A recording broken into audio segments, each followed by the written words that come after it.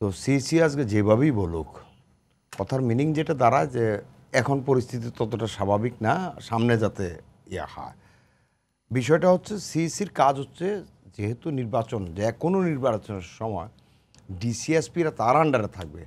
তাকে আগের থেকে সতর্ক করতে হবে। অর্থাৎ জেনারেলি সিইসি যেটা মিন করতে চেয়েছে জেনারেলি গভর্নমেন্টটা আপনারা যেভাবে হুকুম টুকুম মানেন তলব করেন নির্বাচনের নির্বাচন যদি ভালো করতে চান নির্বাচনের সময় এদিকে তাকাবেন। আপনারা ওই জিনিসগুলো পরিহার করবেন। অর্থাৎ একটা বৃহত্তর অর্থে তিনি কিন্তু এই কথাগুলো মিন করছেন। আর দ্বিতীয়ত আপনি যেটা বলছিলেন এই নির্বাচন কমিশন বিএনপি শুরু থেকেই বলছে, তারা এই নির্বাচন কমিশনকে মানে না। বিএনপির কিন্তু দুই তিনটা মোটা অঙ্কের দাবি আছে, মোটা। সেটা হচ্ছে একটা নির্বাচনকালীন সরকার, আর একটা হচ্ছে ফেয়ার, আর একটা নির্বাচন কমিশন গঠন।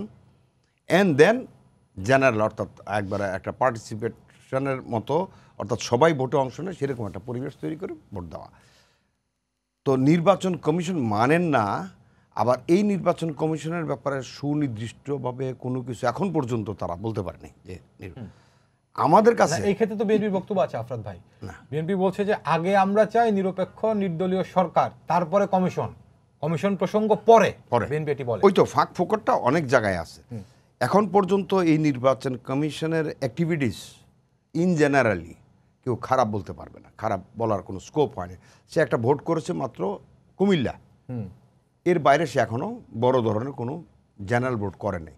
উপনির্বাচনে সাধারণত এখন উপ যে কোনো উপনির্বাচনে ওই ওই রকম পার্টিসিপেশন হয় না ভোটারের কিন্তু সামনে যে জেলা পরিষদ নির্বাচন হচ্ছে ওই ভোটগুলা যদিও এটা স্থানীয় সরকারের নির্বাচন কিন্তু তারপরও দেখার বিষয় বিএনপি এখানে অংশ নেয় নাই।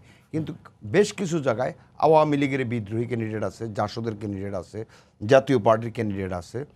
ওইখানে এই যদি আমরা জেলা পরিষদ নির্বাচনটা দেখি আরও এই নির্বাচন কমিশনকে জাজ করা যাবে যে তারা কি করছে।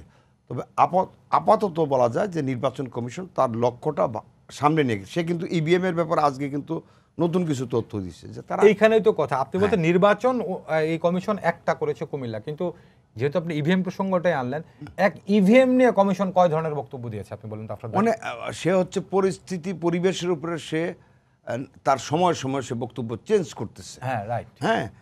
এটা কি প্রভাব ফেলে না? প্রভাব ফেলে কিন্তু আমি যদি বলি এমনি বলে আমি বলছি সে আজকেও কিন্তু বলছে যে ইবিএম এ বেটার ভোট চুরি টুরি হ্যাংত্যাং যায় ইবিএম রক্ষা করার জন্য অর্থাৎ ইবিএম এ ফেয়ার ভোট করার জন্য বেটার বাট যদি অনেকেই না চায় এখন ওই রকম পরিস্থিতি হয়তো নাও হইতে পারে। একটাও না হইতে পারে কদিন আগে বলছে। আবার দেড়শো হতে পারে। হ্যাঁ। তিনশো হইতে পারে। হ্যাঁ তিনশো হতে পারে। সেটাও বলেছে। আমি যেটা বলছি হ্যাঁ। আমরা যেসব নির্বাচন খুবই বিতর্কিত বলছি সেই নির্বাচনগুলো কি ইভিএমে ভোট হয় নাই? ব্যালেটে ভোট হয়েছে। ওই নির্বাচন ব্যালেটে ভোট হয়ে তো ব্যালেটে ভোট মারতে পারে না। তো আবার ব্যালেট হলে ভোট মারতে পারবে না। ভোট যদি ক্ষমতাসীন বা প্রভাবশালী যে যেখানে প্রভাবশালী সে সেখানে সেটাই করে। ইভিএম হোক আর ইভিএম ছাড়াই হোক। এখন ইভিএমটা হচ্ছে যে যতক্ষণ তার পাসওয়ার্ড না পাবে ততক্ষণ তো সে ইন করতে পারতেছে না। আপনি ইচ্ছা করলে ব্যালেটে সিল মারতে পারবেন। ওইখানে হচ্ছে আপনি একটা বই দুইটা বই দশটা বই নিয়ে যায় সিল মেরে দিতে পারবেন। আর বুড়ো আঙ্গুলে খালি ওই ছাপ্পা দিবেন। হ্যাঁ? তো ইভিএম এটা সম্ভব না। ইভিএমে এই এবং দ্রুত এত ছাপা মারাও সম্ভব না। সেই জন্য ইভিএমকে ব্যাটার বলা হচ্ছে। এখন ইভিএম কী কারণে ওরা পুরোপুরি বিরোধিতা করতেছে এটা ইলেকশন কমিশন বারবার বলছে যে প্রযুক্তি নিয়ে আমাকে বলুক যে ইভিএম এই জায়গাটা ক্ষতি করতে পারে।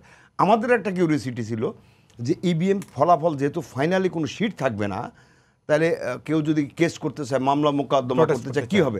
এটা কিন্তু একটা ফলাফল বা বক্তব্য নির্বাচন কমিশন দিয়েছে বলছে যে ইভিএম এর রেজাল্ট শিটগুলো কিন্তু প্রিন্টেড থাকে এক।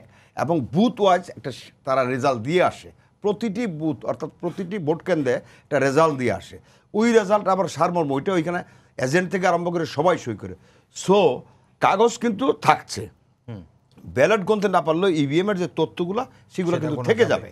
সো এইটা নিয়ে বরঞ্চ আমি মনে করি আমি ব্যক্তিগতভাবে মনে করি ইভিএমকে কীভাবে ডেভেলপ করা যায়। কীভাবে এটাকে আরও মানে ওই সল চাতুরি বা চুরি বাটপাড়ির বাইরে নেওয়া যায় এই চিন্তাগুলো যদি সবাই করে বিরোধী দলও করে আমার মনে হয় সামনে ভালো হবে। আর যদি মনে করে যে করবে না হবে না ওটা আমি বলছি। ব্যালিটি যাক।